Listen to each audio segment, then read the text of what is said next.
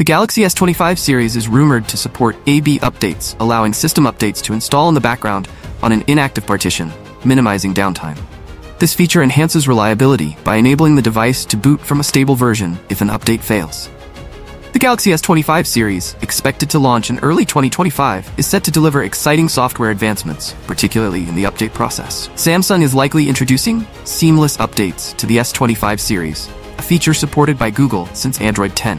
This addition would allow users to install system updates in the background on an unused partition, minimizing downtime and providing a reliable fallback if an update fails, enabling the device to revert to its previous version.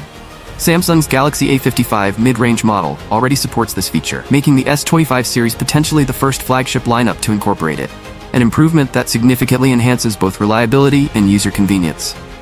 According to Chun Bai, Samsung's list of phones supporting seamless updates now includes the Galaxy A55 and the upcoming Galaxy S25 series.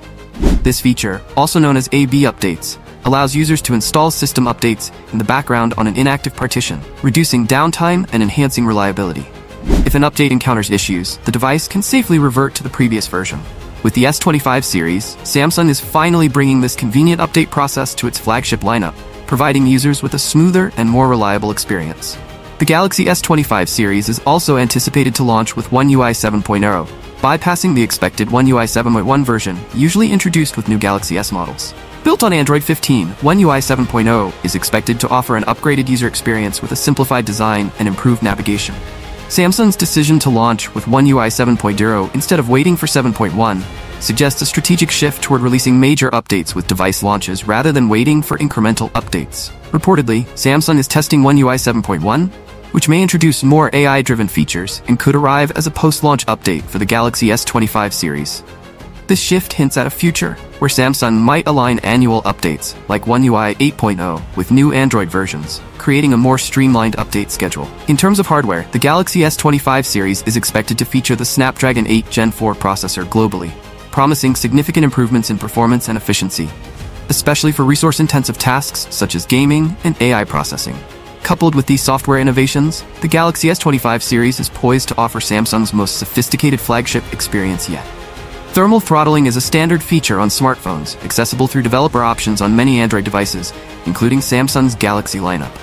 Earlier versions, like One UI 6, included this option, but it was later restricted by Samsung to strike a balance between performance and device safety. Now, the potential reintroduction in One UI 7.0 is raising excitement among those who want maximum performance, especially for gaming and power-hungry tasks. Previously, Samsung responded to feedback on throttling by adding a temperature management feature in the Game Booster app within Game Launcher. Found in the Labs section, this option allows users to increase the temperature threshold slightly, enhancing gaming performance without fully bypassing throttling. However, it, it still maintains some limits to protect against overheating. Thank you for watching this video. We hope you enjoyed our video. If you haven't already, please take a moment to subscribe to our channel. By subscribing, you'll stay updated with our latest videos covering tech trends, gadgets,